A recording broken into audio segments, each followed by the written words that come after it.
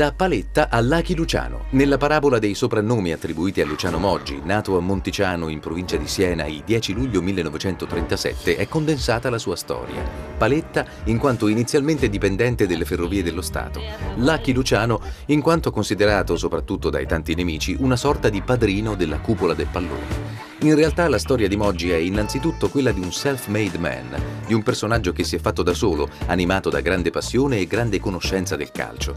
Nelle ore libere, in cui non doveva gestire treni, partenze e arrivi, non perse mai l'occasione per recarsi sui campi di gioco con la vocazione di scopritore di talenti e fin dal principio ebbe l'intuizione che non sarebbe mai bastata la capacità individuale per fare strada, perché l'ideale era creare un'organizzazione di osservatori al suo servizio. Il maestro e il modello fu Italo Allodi, il manager dell'Inter di Papà Moratti, della Juventus di Boniperti e del Napoli di Ferlaino. Attitudini nella scelta dei giocatori, attenzione nei riguardi della stampa e diplomazia nei riguardi degli arbitri. Lo sbarco sul pianeta calcio negli anni 60 avvenne attraverso la porta stretta e ai limiti del regolamento. Cominciarono a trovare spazio, infatti, i cosiddetti mediatori, persone simili ai procuratori di oggi, che si inserivano fra gli atleti e i direttori sportivi delle società, caldeggiando acquisti e cercando un tornaconto personale. Siccome questa figura fu ufficialmente vietata dalla federazione, Moggi, già ben noto per le sue conoscenze tecniche, divenne uomo mercato di tanti club italiani di prestigio,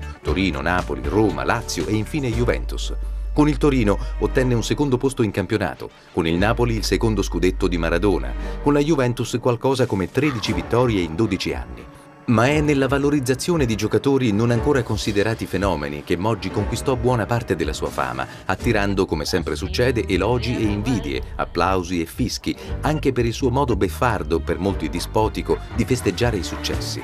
Se a Napoli aveva trasportato mezzo Torino, nella Juventus lanciò Deschamps, Zidane, Inzaghi, Trezeguet, Ibrahimovic, Camoranesi e Zambrotta, rilanciò Vialli, Davids e Cannavaro e attese, dopo un grave infortunio, il recupero di Del Piero. Ebbe il merito di vincere, almeno per buona parte di quei 12 anni, senza chiedere aumenti di capitale alla famiglia Agnelli. Per uno Zidane che partiva arrivavano Buffon, Thuram e Nedved e la ruota dei trionfi continuava a girare esattamente come prima. Alla fine è stata proprio l'eccessiva disinvoltura nel gestire lo strapotere, costruito con la competenza calcistica e con l'estensione tentacolare della GEA, il boomerang che lo ha messo al tappeto.